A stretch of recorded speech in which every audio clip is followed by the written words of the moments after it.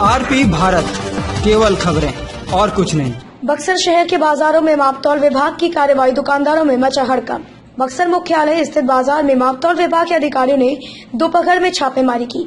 छापेमारी की भनक लगते ही किराना, सोना, चांदी, कपड़ा व मीट के दुकानदारों ने अपनी दुकान बंद कर निकल गए टीम के सदस्यों ने कई दुकानदारों पर गलत कांटों का होना और बिना रिन्यूअल कराए कांटों को इस्तेमाल करने पर दुकानदारों पर जुर्माना लगाया।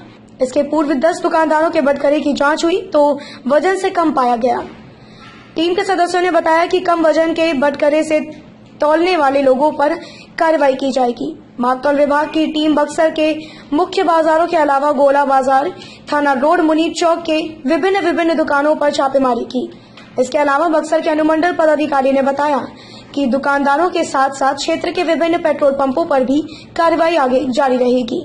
बक्सर से धीरज कुमार की रिपोर्ट। आज यहाँ पे हम लोग मार्केट में देख रहे हैं कि लोगों के पास बाट माप का लाइसेंस है कि नहीं है, या जिनका रिन्यू नहीं हुआ है तो उनको ये बताया जा रहा है कि उनको अभी रसीद दिया जा रहा है। और उन्हें निर्देश दिया जा रहा है कि वो आके अनुमंडल कार्यालय में अभी एक सप्ताह के लिए लगा हुआ है कैंप तो उसमें आके लोग अपना रिन्यू करवा ले और साथ साथ मापतल की भी चेकिंग चल रही है। पेट्रोल में पंप है? जहाँ पर भी शिकायत रहता है कस्टमरों का जो है कम नापा जाता है वहाँ पर आप लोग कितना करवाइए? उस पर भी बहुत जल्दी कार्रवाई होने वाली है। एस डी एम साहब के नेतृत्व में एक अभियान चलाया जा रहा है और हम लोग सब मिलकर कोशिश कर रहे हैं कि सब जगह सही सही काम हो। आपका परिचय?